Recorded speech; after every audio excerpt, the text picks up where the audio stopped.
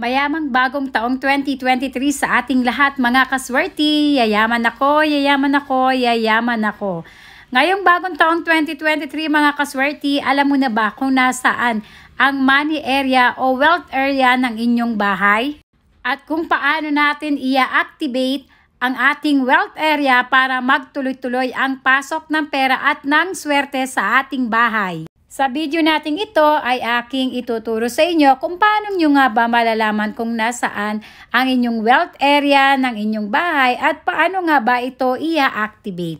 Ayon sa feng shui, ang money area or wealth area ng inyong bahay ay magsisimula sa pinaka main door ng inyong bahay. Maglakad papasok ng inyong bahay at kapag nakarating ka na sa pinakadulo, kagaya nitong sa akin, ito yung pader na naghahati ng sala namin at ng kusina namin. Hindi na natin kailangan pumunta pa ng kusina dahil dito pa lang ay nahati na yung ating bahay. Ito yung magsisilbing partisyon ng ating bahay. Ngayon, ang ginawa ko, ako ay humarap sa kaliwang bahagi ng aming bahay kung saan naandito yung money area. Ito yung corner left ng ating bahay. Dito po ang ating wealth area o yung money area na tinatawag. Kapag ito ay nakita mo na para naman i-activate mo ito, kailangan na ilinisin mo muna ang wealth area na ito o yung corner area na ito para naman matanggal muna yung mga negative energy rito. Kagabi, naglagay na ako dyan ng isang basong tubig na mayroong asin. Parang lahat ng mga negative energy ay matanggal. Ngayon naman ay naglagay ako ng mga barya rito at kung napansin nyo, naglagay din ako dito ng design na parang puno na kulay green.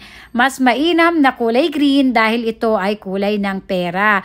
Yung iba naman, naglalagay sila rito ng mga citrine stone o yung mga swerteng bato at mga swerteng halaman ay mainam din na ilagay natin sa ating wealth area para ito ay makaakit ng mas maraming pera papasok ng ating bahay. May ilang nagtatanong paano kung ang inyong corner area o yung tinatawag na wealth area sa kaliwa ay pintuan na papasok na inyong kusina o hindi naman kaya ay CR, maaari nyo naman itong gawin sa loob ng inyong kwarto. Simula sa pintuan ng kwarto ay maglakad hanggang makarating ka sa pader ng inyong bahay at yung kaliwang corner nito, ito yung tinatawag nating wealth area. Maaari mo itong linisin at maglagay ng mga halaman ditong maswerteng halaman at maglagay ng maraming barya rito. Ang barya kasi ay nangaakit ng mas maraming pera. Sila ang tumatawag ng mas maraming pera.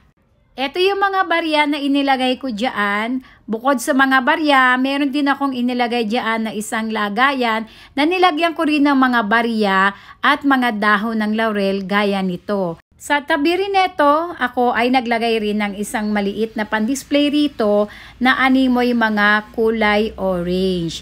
Ito ay nagsisilbi or simbolo ng pera at ginto. Ang kulay green ay simbolo rin ng pera para makaakit ng mas maraming pera sa loob ng aming bahay.